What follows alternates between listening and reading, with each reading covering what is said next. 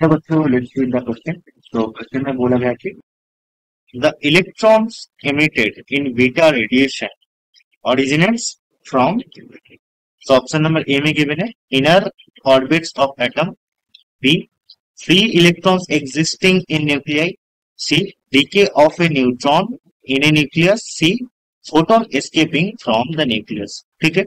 सो इस क्वेश्चन का की कॉन्सेप्ट हो जाएगा। की कॉन्सेप्ट इस concept of beta decay beta decay ठीक है? नाउ बीटा डीके में क्या होता है? इलेक्ट्रॉन एमिट होता है, ठीक है? Electrons emit from nucleus. Electrons are emitted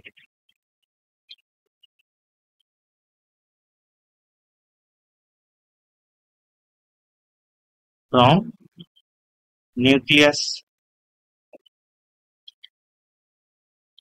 ठीक है?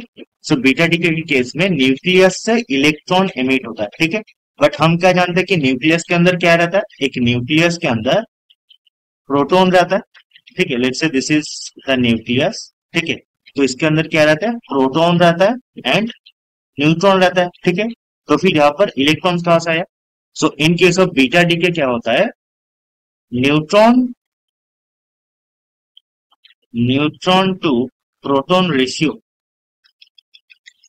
proton ratio, ठीक है that is N by P so neutron to proton ratio जब इंक्रीज हो जाता है, ठीक है दिस मीन्स ज़्यादा हो जाता है, तब क्या होता है? न्यूक्लियस बिकम अनस्टेबल ठीक है nucleus nucleus became unstable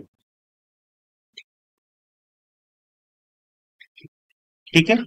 So neutron is to proton ratio अगर ज़्यादा हो जाएगा, ठीक है? न्यूक्लियस अनस्टेबल हो जाएगा। तो इसको स्टेबिलाईज करने के लिए क्या हो जाता है? Neutron neutron decay into decay into proton ठीक है? So to stabilise this neutron क्या हो जाता है? डीके हो जाता है प्रोटॉन में, ठीक है?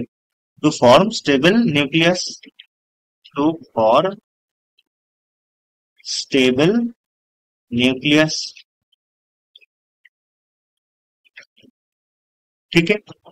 तो इस केस में क्या होता है कि एक neutron that is zero N one ठीक है? दिस इज़ न्यूट्रॉन ये कन्वर्ट होता है, हो रहा है किसमें प्रोटॉन में, ठीक है डीके हो रहा है। प्रोटॉन में एक प्रोटॉन क्रिएट होता है एंड एक इलेक्ट्रॉन एमिट होता है, ठीक है। यहाँ पर mass number and atomic number conserve रहता है? तो ये जो प्रोसेस है, इसको ही हम बीटा रेडिएशन बोलते हैं, ठीक है। दिस इज़ बीटा रेडिएशन ठीक है। तो बीटा रेडिएशन कहाँ पर होता है? होता है इन द न्यूक्लियस ठीक है, जहाँ पर एक न्यूट्रॉन डीके हो जाता है टू ए प्रोटोन ठीक है? तो यहाँ पर ऑप्शन नंबर सी हमारा सही हो जाएगा that is decay of neutron in a nucleus ठीक है? क्योंकि न्यूक्लियस से न्यूक्लियस के अंदर न्यूट्रॉन जब प्रोटॉन में कन्वर्ट हो जाता है, तब एक इलेक्ट्रॉन निकलता है, इसको हम बीटा रेडिएशन बोलते हैं, ठीक है? ऑप्शन नंबर ए में बोल रहा है कि इनर ऑर्बिट्स ऑफ़ एटम ये गलत हो गया free electrons existing in nuclei तो ये तो गलत, ठीक है, क्योंकि न्यूक्लियस का अंदर होता है ये process photon escaping from the nucleus तो ये भी गलत हो गया। ठीक है। सो ऑप्शन नंबर सी इस क्वेश्चन का सही ऑप्शन हो जाएगा। Hope you understand it best of luck